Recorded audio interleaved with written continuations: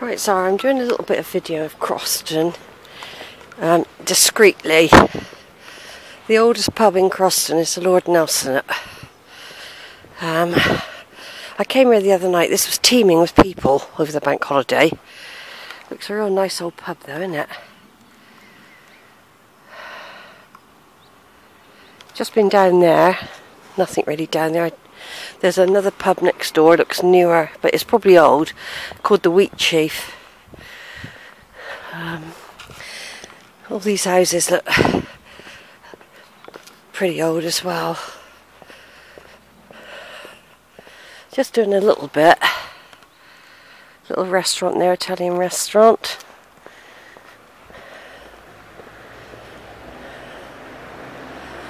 There we've got that there. That's the wheat sheaf. Back there you've got the Lord Nelson. It's quite a busy village. There's a lot of traffic coming through all the time as well. It's the route to Southport, Preston. Um, something to mark the millennium there, look. I didn't see that the other night. Some sort of big... So it has got this cute little bridge that I'm going to go over in a minute.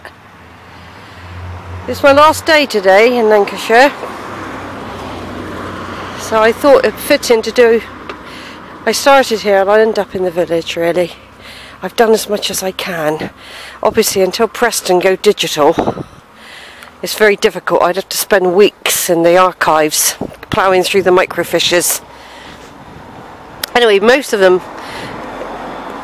over the last 200 years were we're sort of buried here anyway. Croston Parish Church, just so you can see what's going on and everything. I think this is known as the village green here. There is a trail that starts from here. It's following a boot, but it's not very clear. I think you actually need a map, really. The Rural Voice Village Ventures Award, it's called there. So um, this is the village green, this little bit here.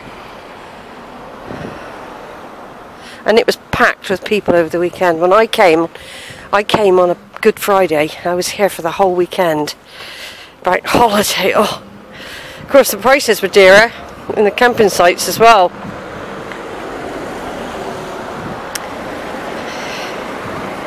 There's another one coming up in May. There's the church and behind there's the little cemetery.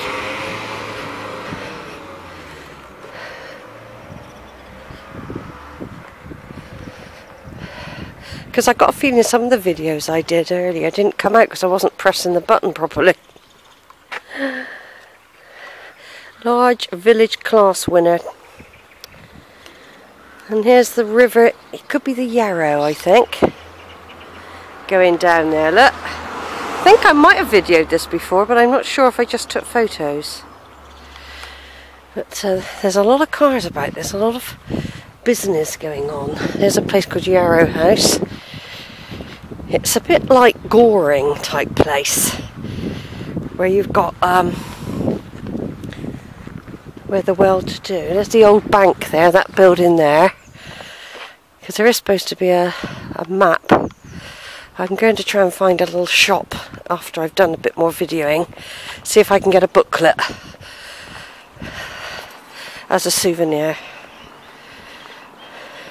There's the church there, St Michael's Church, where lots of your ancestors were christened, baptised, married, and buried. Right, now where I'm going now I haven't been before not over this bridge. I have been over it, but I haven't intended to see where it goes. But uh, this I imagine to be the the older part of Croston Zara with a beautiful view of the church there from the back and the houses over this cobbled bridge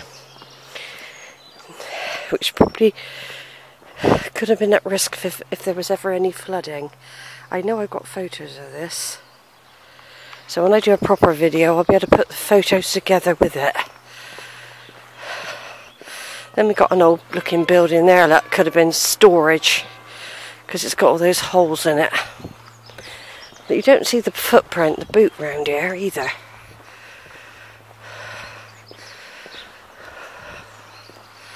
I should imagine that meanders round somewhere. Um, this might come to the graveyard actually, because this is where I was thinking. Um, I could have come. Oh, never mind, I've, I'm just doing the back areas as well.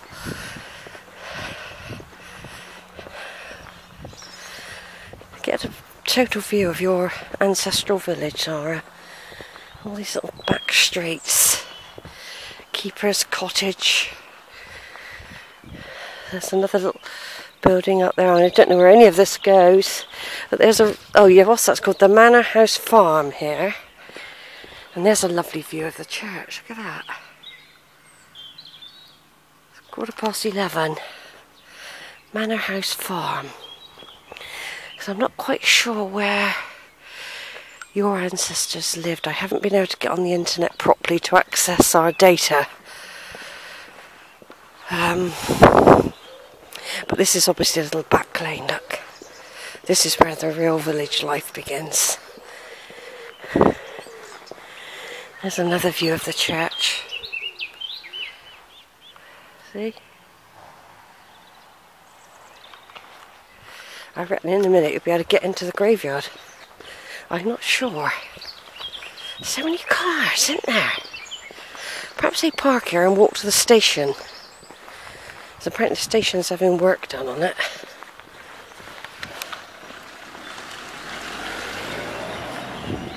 Oh yeah, yeah. Here we come. We're coming. I'm just taking you round. I reckon people park here to go to the station. I mean, come on. What are they all doing parking down here? Manor House Barn, that is. Obviously a barn once.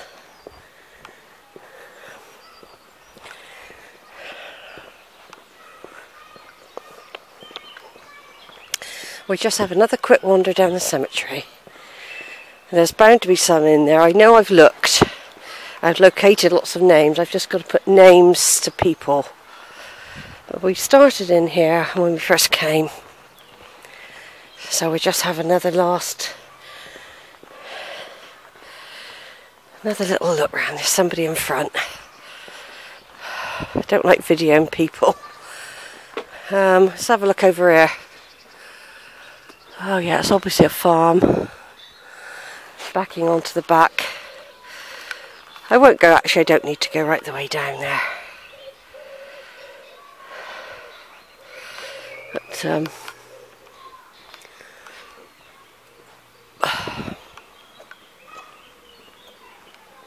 You can hear children. There's a school here as well. And that's the cemetery leading all the way along there. All the way up there, you see.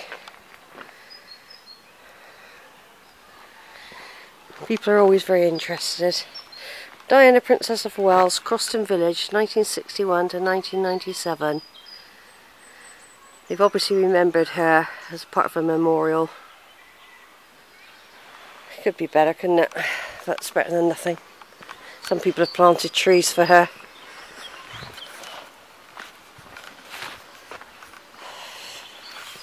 Right then. Yarrow Cottage.